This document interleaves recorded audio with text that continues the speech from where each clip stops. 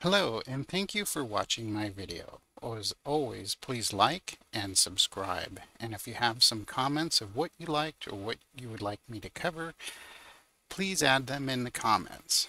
Today I'm going to be going over using the API feature to grab all the subnet scopes from a Windows server and push them into PHP IPAM.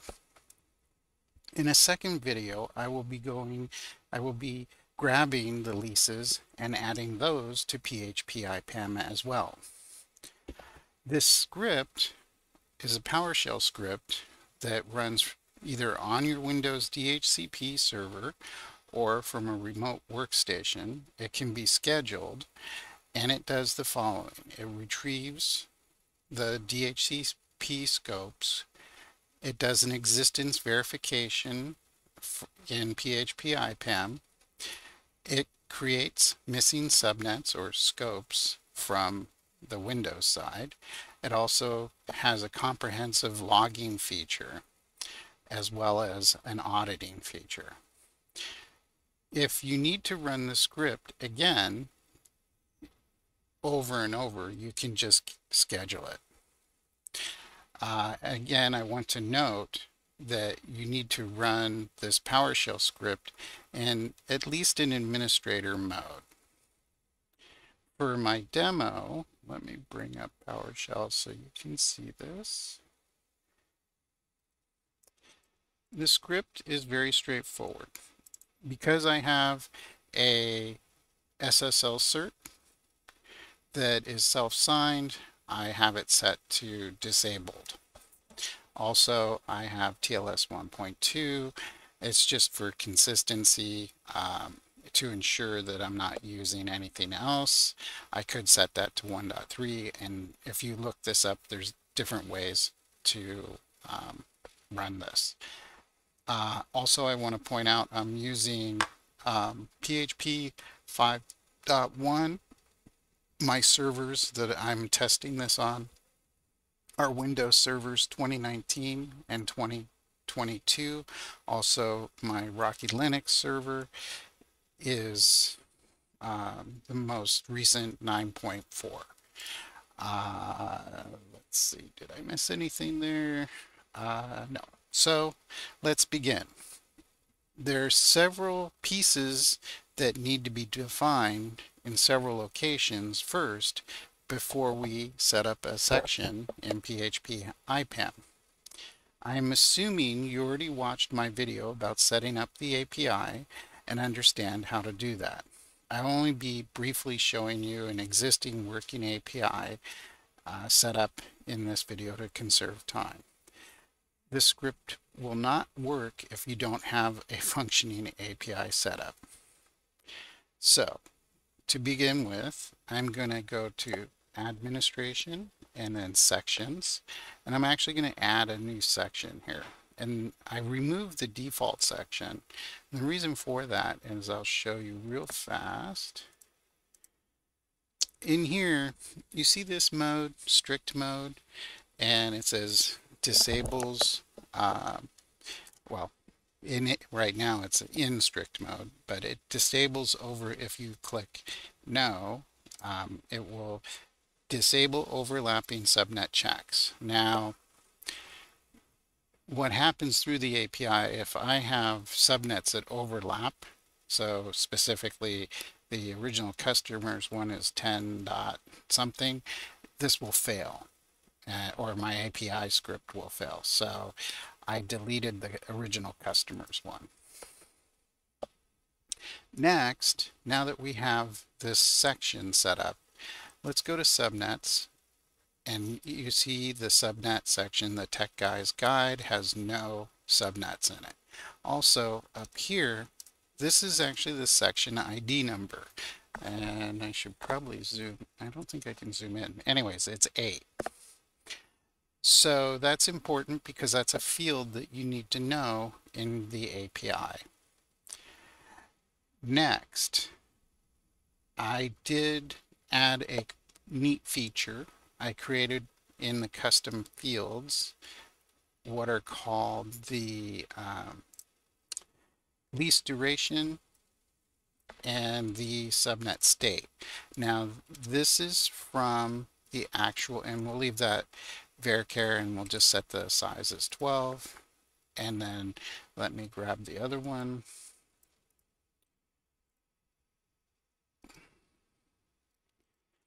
And we'll make that 12 as well. So now we have these two custom subnets. And what I'm trying to demonstrate here is um, we can create a API call to these as a custom field.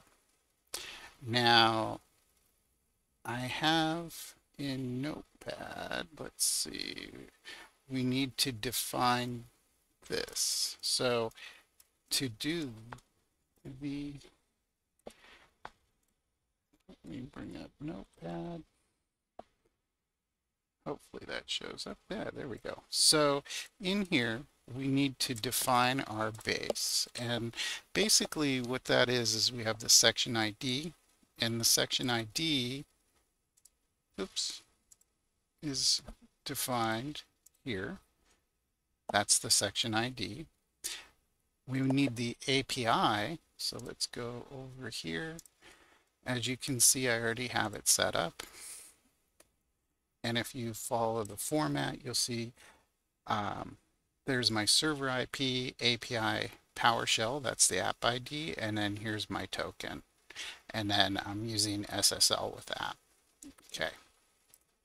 So now that we have all that, if I go here, you can see there's no subnets. What I'm going to do is I'm going to try and, hopefully I can do this. I'm going to squeeze this in so that these two are here. And what I'm going to do is I'm going to run this, right? So let's make sure I have an 8 there. I do not. As you can see, the PowerShell script is looks pretty much the same. I'm going to hit run.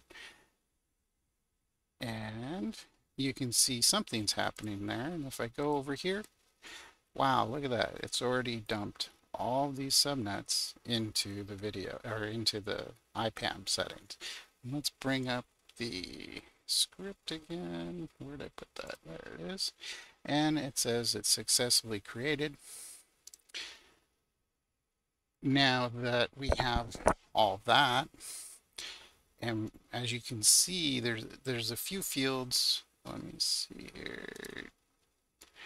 So this engineering, you'll see that the one piece that was, you know, added the scan agent as well as enabled the host check.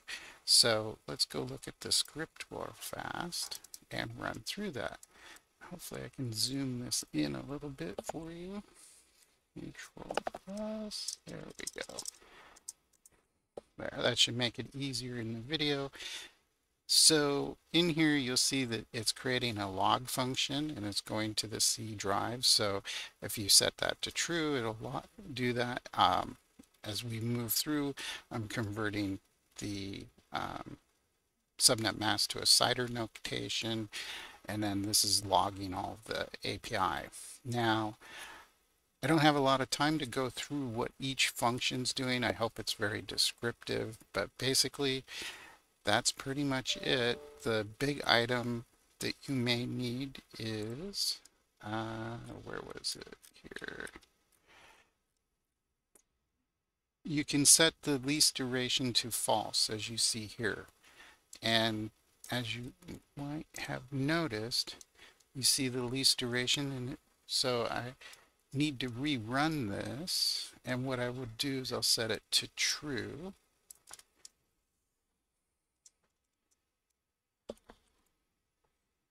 to demonstrate this feature to you. Oops. And you can change this description um, prefix. Uh, this is for the second half of the script. This is where you would set the scan agent and the ping subnet. And let me show you where that is. So that's these two, the scan agent and the ping subnet. That's the host check. And there's the lease duration and subnet state. So if I rerun this, hopefully Now it shows the subnet state is active.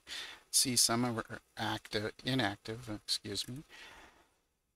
It shows the lease duration for these and that's pretty much it. That's uh, what the subnet portion of the script does. Well, I hope this made understanding my script for importing subnets from MS Windows Server and putting them into PHP IPAM a little fun and easy if you have a lot of subnets to put in. Um, also, my script does not delete them. You'll have to manually delete them. Um, and oh, that was, I wanted to make sure I said that. Finally, I wanted to thank you for watching my video. And as always, please like and subscribe.